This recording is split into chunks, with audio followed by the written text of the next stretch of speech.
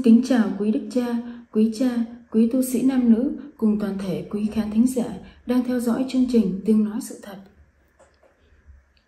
Ngày hôm nay, con xin được một lần nữa nói lên sự thật về hoạt động của Thiên Chúa đang thực hiện nơi nhà Chúa Cha ở Bảo Lộc, Việt Nam.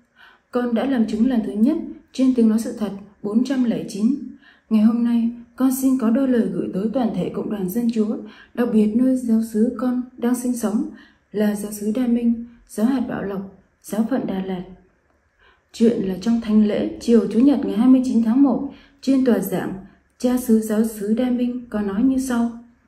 Nhóm trừ quỷ Bảo Lộc chống lại Chúa Giêsu, nhóm này chỉ có đi thu tiền, rồi nào là tự nhận thai thánh, uống nước giếng chữa bệnh, đặt tay chữa lành, vậy mà có nhiều người tin theo.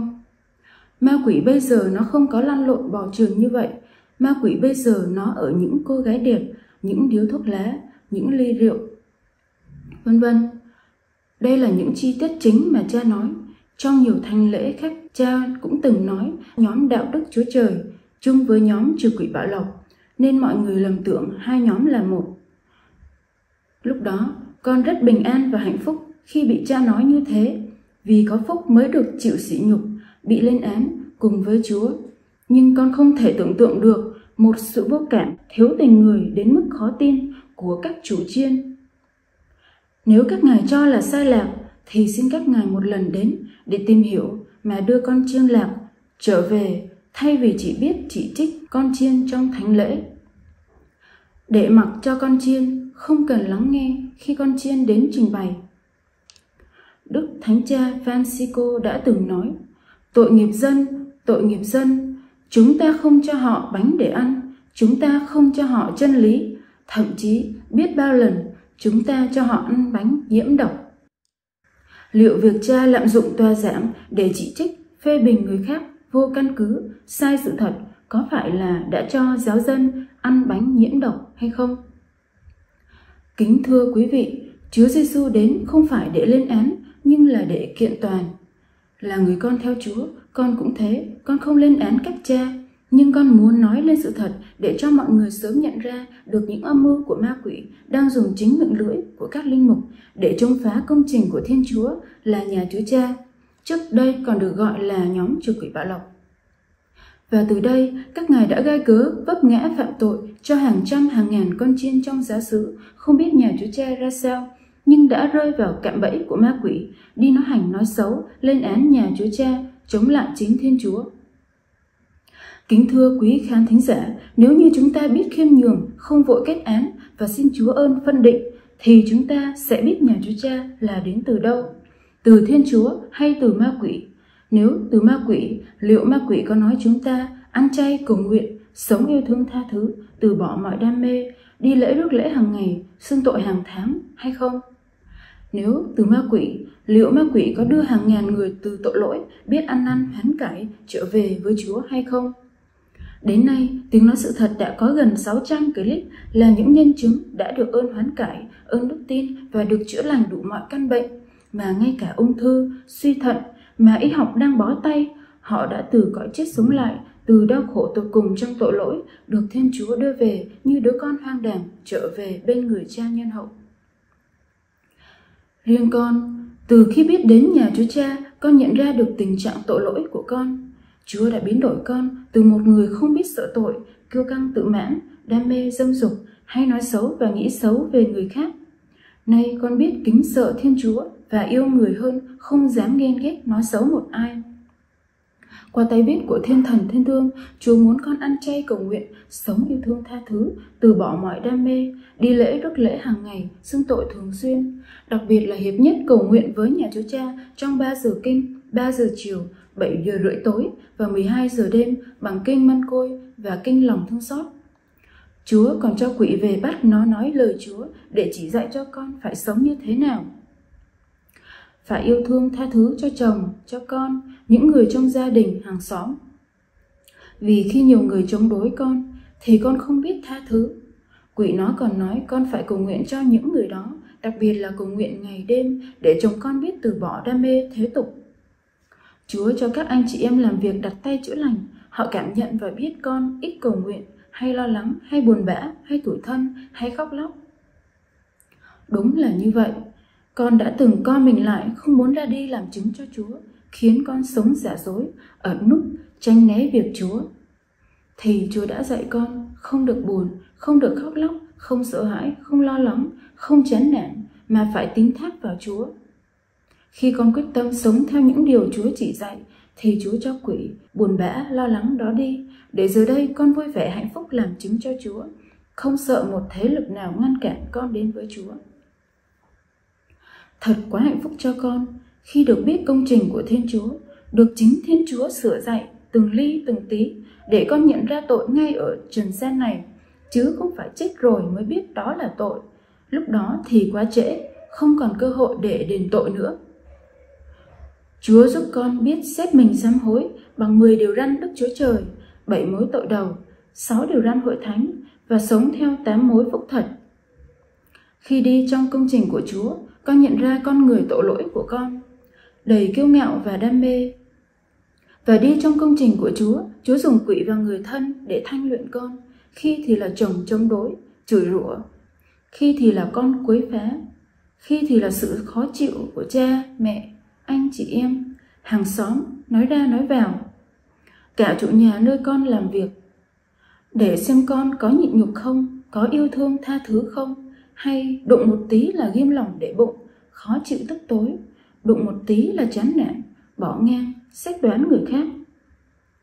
Đi trong công trình của Chúa không có nghĩa là được tấm vé vào thẳng nước trời, mà Chúa thanh luyện con từng ngày để cho con bị người thân coi như là kẻ tâm thần, xấu xa, để con không có một giá trị gì trước mặt người thân. Chúa để những khó khăn thử thách ấy xảy đến để tôi luyện tinh thần con vững vàng cứng cáp, để con coi mọi sự như không, mà yêu chính người xúc phạm mình và cầu nguyện cho họ. Đi trong công trình của Chúa, phải chết đi con người cũ, phải đóng đinh tính xác thịt vào thánh giá Chúa. Giờ đây, con không còn dám xét đoán người này, người nọ. Thấy thương những người sống trong tội lỗi hận thù và thấy rõ sự yếu đuối mỏng giòn của mình. Con cam đoan với quý vị rằng, mặc dù con người mình tội lỗi, bất xứng, nhưng khi làm theo lời chúa chỉ dạy, thì sẽ không còn thời gian và tâm trí cho chuyện thế gian, cho những đam mê xác thịt và sẽ nên thánh ngay tại trần gian này. Kính thưa quý vị chỉ có đến từ Thiên Chúa thì mới sinh ra những hoa trái tốt đẹp như thế. Vì Chúa Giêsu đã nói, xem quả thì biết cây, cứ xem họ sinh hoa quả nào thì biết họ là ai. Có người nào lại hái nho ở bụi gai hay là hái vả trên cây găng? Nên hễ cây tốt thì sinh quả tốt, cây sâu thì sinh quả xấu, cây tốt không thể sinh quả xấu cũng như cây sâu không thể sinh quả tốt. Cây nào không sinh quả tốt thì bị chặt đi và quăng vào lửa. Vậy, cứ xem họ sinh hoa quả nào thì biết họ là ai. Matthew chương 7, từ câu 15 đến câu 20. Tôi cho các ông biết, trên trời sẽ vui mừng vì một người tội lỗi ăn năn hơn là 99 người công chính không cần ăn năn.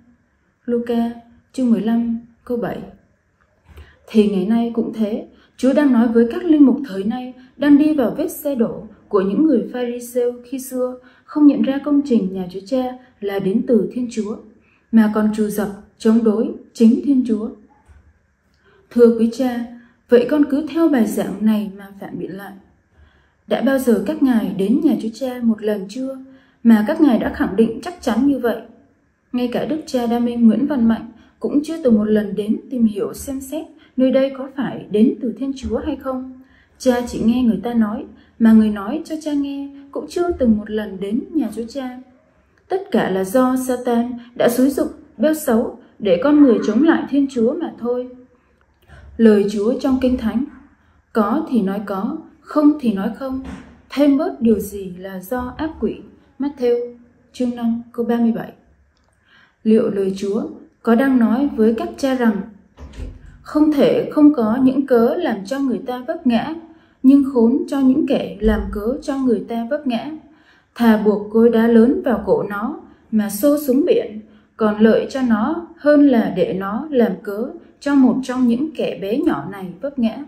Luca chương 17 câu 1 đến câu 2 Ý thứ nhất, cha nói nhà Chúa Cha chống lại Chúa Giêsu. Vì các cha cứ nghe người ta nói mà không đến kiểm chứng. Khi con nghe theo lời Chúa từ nhà Chúa Cha, cụ thể là qua tay viết của Thiên Thần Thiên Thương, Chúa muốn chúng con đi lễ hàng ngày để rước chính mình Thánh Chúa Kitô làm của ăn nuôi dưỡng linh hồn chúng con. Rồi cầu nguyện không kể ngày đêm bằng kinh mân côi là một nhiệm về cuộc đời của Chúa Giêsu để cầu nguyện cho các linh hồn và kinh lòng thương xót đã được Chúa Giêsu hứa với Thánh Faustina rằng dù rằng trời đất này biến ra không, nhưng lòng thương xót của cha luôn ấp ủ những linh hồn tín thác. Nhà Chúa Cha chống lại Chúa Giêsu kiểu gì mà mỗi tháng chúng con đi xưng tội một lần để được giao hòa với chính Chúa Giêsu. Ý thứ hai, nhà Chúa Cha chỉ có đi thu tiền. Con hỏi, trong giáo xứ đã có ai phải đưa tiền cho nhà Chúa Cha chưa? Cha chỉ nghe người ta nói vô căn cứ, rồi cứ tin răm rắp. Cha có nghĩ việc mình đã phạm đến điều răn thứ 8 hay không? Chính con đây, khi con chia sẻ về nhà chú Cha, thì ma quỷ nó nói nhà chú Cha phát tiền. Con lên đấy để nhận tiền. Một sự vu khống, xuyên tạc có chủ đích, nhưng đã làm rất nhiều người tin theo, rồi xúc phạm đến Thiên Chúa mà không biết. Lời Chúa trong Kinh Thánh sẽ đến ngày người ta giết anh em mình mà cứ tưởng mình phụng thờ Thiên Chúa. Cha có bao giờ thử nghĩ rằng mình cũng như Thánh Phaolô khi xưa bắt bớ chính những người môn đệ theo Thiên Chúa chống lại Chúa Giêsu hay không? Liệu rằng lời Chúa có đang nói với cha giơ chân đạp mũi nhọn thì khốn cho ngươi hay không? Ý thứ ba, nhà Chúa Cha tự nhận thai thánh. Tiếng nói sự thật 207 nói về thai thánh rất chi tiết bởi phép Chúa Thánh Thần mà khi cha Đa Minh Nguyễn Chu Triền đặt tay cho những người xin được có thai thì lập tức thai nhi nhảy mừng trong bụng mẹ. Đó là những thiên thần nhập thể mà Chúa cho làm người để cùng sống với con người và chiến đấu với Satan. Ngày xưa, Chúa cho bà Sarah, bà Elizabeth và chính Đức Mẹ đều thụ thai không bởi xác thịt, không do quan hệ vợ chồng, nhưng thụ thai bởi phép Chúa Thánh Thần. Vậy thì ngày nay không thể hay sao? Hãy liên hệ với câu kinh thánh sau. Đức Giêsu Kitô vẫn là một, hôm qua cũng như hôm nay, và như vậy mãi đến muôn đời. Hebri chương 13 câu 8 Ý thứ tư, cha nói uống nước giếng. Tiếng nói sự thật 364 nói về nước Thánh Thiên rất chi tiết. Xin mọi người hãy nghe lại. Đây là nước từ trời xuống. Những ai thành tâm và sống theo sự chỉ dạy của Chúa khi rút về uống thì sẽ được chữa lành các loại bệnh. Rất nhiều người đã làm chứng trên tiếng nói sự thật về công dụng kỳ diệu của nước Thánh Thiên, như một người bất tỉnh nguy kịch tưởng phải đi cấp cứu, nhưng chị đã tin tưởng vào Chúa và cho người nhà uống thì sau đó người đó tỉnh lại bình thường. Ý thứ năm, đặt tay chữa lành. Cha không tin người ta đặt tay mà có thể chữa lành được bệnh tật. Vậy thì hàng trăm người trên tiếng nói sự thật, họ đã lên làm chứng, có số điện thoại, địa chỉ cụ thể, có xác nhận y khoa của bệnh viện. Xin mời cha thử gọi nói chuyện và điều tra xem có đúng sự thật hay không. Hãy đọc lại Kinh Thánh. Đức Chúa Giêsu phán: Anh em hãy đi khắp tứ phương thiên hạ, loan báo tin mừng cho mọi loài thụ tạo. Ai tin và chịu phép rửa sẽ được cứu độ, còn ai không tin thì sẽ bị kết án. Đây là những dấu lạ sẽ theo những ai có lòng tin. Nhân danh Thầy họ sẽ trừ được quỷ, sẽ nói được những tiếng mới lạ, họ sẽ cầm được rắn, và dù có uống nhầm thuốc độc thì cũng chẳng sao. Và nếu họ đặt tay trên những người bệnh thì những người này sẽ được mạnh khỏe. Marco chương 16 câu 15 đến câu 18 Đây, Thầy đã ban cho anh em quyền năng để đạp lên rắn rết, bọ kẹp và mọi thế lực kẻ thù mà chẳng có gì làm hại được anh em. Luca chương 10 câu 19 Ý thứ sáu Cha nói quỷ bây giờ không lộ như vậy mà nó ở thuốc lá, ly rượu, cô gái đẹp. Ý cha nói là bây giờ không có quỷ nhập mà nó kém dỗ con người ở những đam mê xấu. Xin thưa với cha, nếu cha nói như thế thì cha mới chống lại Chúa Giêsu, vì Chúa Giêsu đến thế gian, Ngài đã trừ biết bao nhiêu vụ quỷ nhập, rồi Ngài truyền cho 72 môn đệ đi trừ quỷ để làm gì? Không lẽ ngày xưa có quỷ dữ, còn ngày nay không có quỷ hay sao? Rồi biết bao nhiêu vụ trừ quỷ trong và ngoài nước, cha cũng phủ nhận hay sao? Nhà Chúa Cha trừ quỷ có hai dạng, quỷ nhập và quỷ ám. Trường hợp quỷ nhập, tiếng nói sự thật phần 121, chị Ngân đã làm chứng, chị đã bị quỷ khống chế như thế nào. Nhưng đến xin các đức cha, nhưng các đức cha không trừ được. Khi chị về nhà Chúa Cha, thì cha Đa Minh và thiên thần thiên thương đã trừ quỷ và chị đã trở về, con người bình thường. Về việc trừ quỷ ám, Thiên Chúa dùng chính đôi tay thân xác những người làm việc trong vườn nho nhà chú Cha để bắt từng con quỷ ám trong thân xác bệnh nhân. Quỷ ám thì ai cũng có, nó cám dỗ con người phạm tội mất lòng Thiên Chúa như quỷ kiêu ngạo, quỷ dâm dục, quỷ chia rẽ, nói hành, nói xấu, vân vân. Quỷ không đơn giản chỉ ở ngoài cam dỗ ở đam mê rượu chè trai gái như cha nói, mà nó ở trong chính thân xác cám dỗ người ta kiêu ngạo, chống lại Thiên Chúa.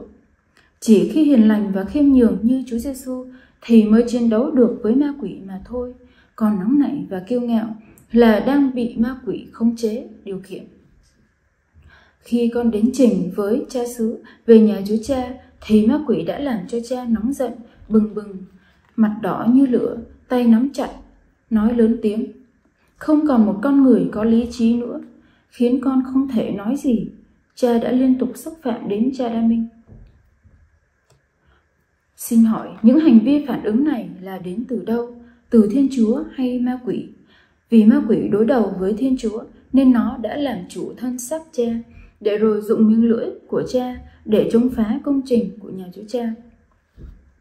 Hằng ngày cha đọc lời Chúa, nhưng con không hiểu làm sao một vị linh mục lại không tin việc trừ quỷ và chữa lành. Trong khi trừ quỷ và chữa lành là hai trong ba sứ vụ của một linh mục mà Thiên Chúa trao ban, đó là rao giảng tin mừng kêu gọi người ta ăn năn, sám hối, trừ quỷ và chữa lành. Không những thế, Ngài đã sai 72 môn đệ đi làm việc đó, có nghĩa rằng những giáo dân cũng được ơn trừ quỷ và chữa lành nếu như Thiên Chúa ban ơn cho người đó. Vì lòng đầy những thành kiến mà cha đã nói những điều đi quá xa, vô căn cứ, vu khống cho nhà Chúa và kéo theo nhiều người cùng xuống hố.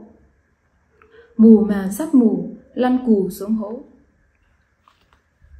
Con nói những điều này không phải để lên án ai, nhưng để vạch trần mưu mô, xảo trá của ma quỷ đang ngày đêm cám dỗ con người phạm tội, nhất là tội kiêu ngạo xúc phạm đến Thiên Chúa, chống phá công trình thánh hóa của Chúa Thánh Thần. Để cảnh tỉnh cho những ai đang xúc phạm đến Thiên Chúa và tha nhân, hãy kịp thời ăn năn hối cải để cho mọi người đang đi trong công trình của Thiên Chúa không vì những lời lẽ không có cơ sở của các linh mục mà nhát đảm, sợ sệt, thoái lui. Hãy mạnh mẽ can đảm lên, làm chứng cho Thiên Chúa. Những ai chưa tin, chưa biết nhà Chúa, hãy mạnh dạn tìm hiểu, hãy cầu nguyện với Chúa và mẹ Maria, xin ơn phân định. Để được Chúa cho biết đây có phải là công trình của Thiên Chúa hay không. Để không phải bỏ lỡ một cơ hội được gặp gỡ Thiên Chúa ngay tại trần gian này vì chỉ những ai khiêm nhường mới được hiểu về nước trời. Lời Chúa trong tin mừng Thánh Luca chương 10 câu 21 đến câu 24 chép rằng Khi ấy Chúa Giêsu đầy hoan lạc trong Chúa Thánh Thần. Người nói, Lạy cha là Chúa trời đất, con xưng tụng cha vì đã giấu không cho những người thông thái, khôn ngoan biết những điều này, nhưng đã tỏ cho những kẻ đơn sơ. Vâng lạy cha, đó là ý cha đã muốn thế. Cha ta đã trao phó cho ta mọi sự, không ai biết Chúa Con là ai ngoài Chúa Cha, cũng không ai biết Chúa Cha là đứng nào ngoài Chúa Con. Và những người được Chúa Con muốn tỏ cho biết. Rồi Chúa Giêsu quay lại phía các môn đệ và phán: Hạnh phúc cho những con mắt được xem những điều chúng con xem thấy, vì chưng ta bảo các con có nhiều tiên tri và vua Chúa đã muốn xem những điều chúng con thấy mà chẳng được xem, muốn nghe những điều chúng con nghe mà chẳng được nghe.